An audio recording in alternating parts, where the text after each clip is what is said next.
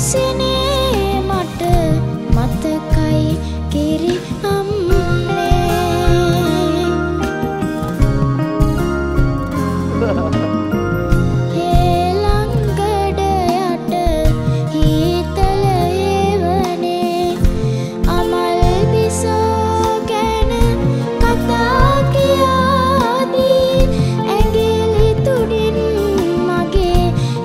sun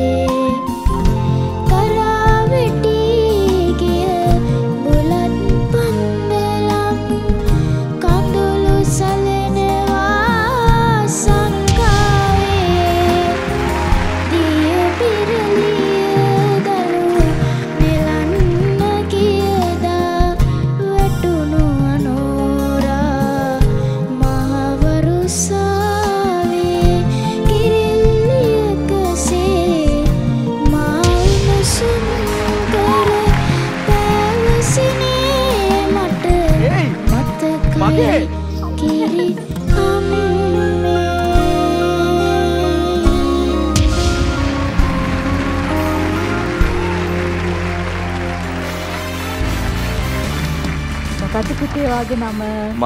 මගේ නම කේශව හසෝත්. පුතාගේ වයස කීයද? එක් කලහයි කෝචර්ශන කියන්නකො කතාව. දැන් චර්ශනත් මේ වයසදිනේ නේ අනේ ඔවු. දැන් මං පුතාගේ වයස දැනගත්තහම මේ මට මාං ගියා මාර්දුරක් මේ හරි ලස්සනයි පැටියෝ ඔයාගේ පුතේ හරි සෙන්සිටිව් වොයිස් එක.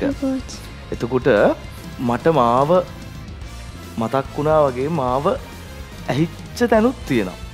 එහෙම තැනක තම මං හැරුණේවාගේ ඉතින් මට මාර දෙයක්. ඇගැන්නේ මේ මට පුතේ මං වගේ තම පොඩි පැටියෙක් කොහෙන් හරි ඔයාලා වගේ දක්ෂව අතර දකින්න ආසයි මට ඒ නිසා යවා ඕනේ මට මාව මට වඩා කෙනෙක් හදන්න තමයි මට ඕනේ. ඉතින් හරි ලස්සනයි. ඒ සින්දුව ඇත්තටම එහෙම ලේසිමත් නෑ ඇත්තට මේකේ මාර තැන් ගොඩක් තියෙනවා. මහත් ඔයා වගේ කාලේ කිව්වේ මහත් ඔක හරි අමාරුවෙන් කිව්වේ ඒ කාලේ. ආ ඇහුවද හොඳට සින්දුව? හොඳට අහලා තියෙනවා. පුතා හොඳට ගීත අහන්න. ඉතින් තව දෙන්නෙක් බලන්නකෝ මට බාධා කරානේ. පුතේ ඉතින් ඔයාගේ කැමතිම ගායකයා කවුද කියන්නකෝ? මගේ කැමතිම ගායකයා සුනිල් එදිරසිංහ. ආ එහෙනම් කමන්නේ. එහෙනම් මම මේ පිච් කරනවද නැද්ද කියලා කල්පනා කරා. නෑ නෑ කියන්නකෝ ඉතින්. මහන්සිය අපතේ අයිද දන්නේ. මේ කොහොමුණත් පුතේ ඇත්තටම ඔයාගේ ඒ මේ කෝච් හර්ෂණ ගායනා කරපු ගීතය පොඩි කාලේ හැබැයි පුතා ඒ ගීතයේ තියෙන රස තැන් හරිම ලස්සනට ගායනා කරා පුතේ. ඒකයි මමත් හැරුණේ.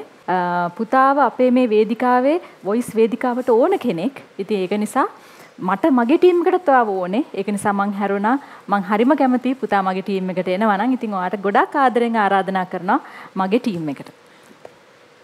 ඉතින් පුතේ මම ගොඩක් ආසයි ඔයාගේ වයසේ මේ ජෙනරේෂන් එකේ දරුවෙක් ඔයාගේ ආසම ගායන ශිල්පියා සුනිල් නිද්‍රසිංහ මහත්මයා කිව්ව එකට මම හරිය කැමතියි පුතේ.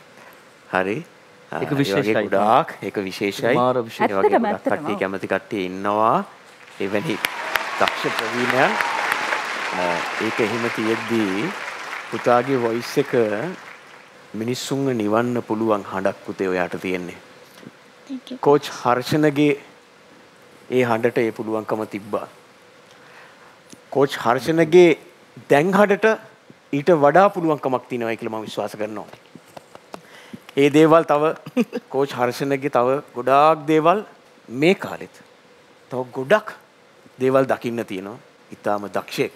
මම ඊට පස්සේ කියන්න යන්නේ ඔයත් ලොකු වෙලා බොහොම දක්ෂ දරුවෙක් වෙයි කියන එක මේ වගේම දක්ෂයෙක් වෙයි කියන එක මට අනිවාර්යයෙන්ම කියන්න පුළුවන් පුතේ. මගේ ටීම් එකට එන්න කියලා මම ආදරෙන් ආරාධනා කරනවා ඔයාලට. සහ මේ පුතේ තව චූටි දෙයක්. ස්තුතියි සින්දුවක් මගේ ගායනා කරාට අද වේදිකාවේ ඔයා දක්ෂ දරුවෙක්. එනිසා වාට ඕන තැනක අපි තුන් දෙනා ගාව ඕන තැනක ඉඩ තියෙනවා පුතා හොඳට හිතලා තීරණයක් ගන්න.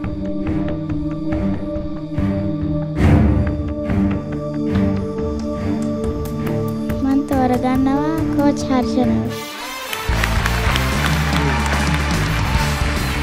මම දැනගතිමි මම සැක කළෙමි. ඊට පස්සේ සින්දු ටිකක් දුකයිනේ. තාම මූඩ් එකේ අච්චම්ම තාම මූඩ් එකේ. අච්චම්මාගේ. අප්පච්චිගේ අම්මා ඉන්නවා හැබැයි අම්මගේ අම්මා නැති වුණා. මං ওই සින්දුව කියද්දි මගේ ආච්චියමල දෙන්නම නැහැ. සමහරට දුක හිතෙන්නත් දන්නේ නැහැ මට නේද කියලා. ස්තුතියි පුතේ. හරි මත ලස්සන මතකකුත් ගෙනත් දුන්නට මෙන්න මගෙන් ඒ වෙනුවෙන් තෑග්ගක්. ඉතුරු තෑගි ටික අපි ඉස්සරහට යද්දි කරමු.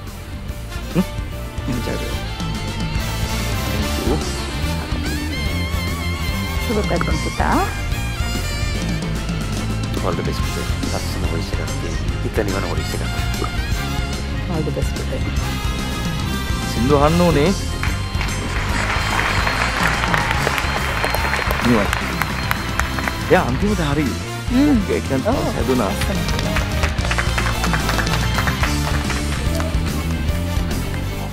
මගේ ටීම් එකේ මේ පර්ෆෝමන්ස් එකට ඔයත් කැමති නම් අනිවාර්යෙන්ම මේ වීඩියෝ එකට ලයික් කරන්න කමෙන්ට් කරන්න ෂෙයා කරන්න. මේ වගේ පර්ෆෝමන්ස් දිගටම බලන්න කැමති නම් අමතක නොකර The Voice Kids Sri Lanka YouTube channel එක subscribe කරන්න.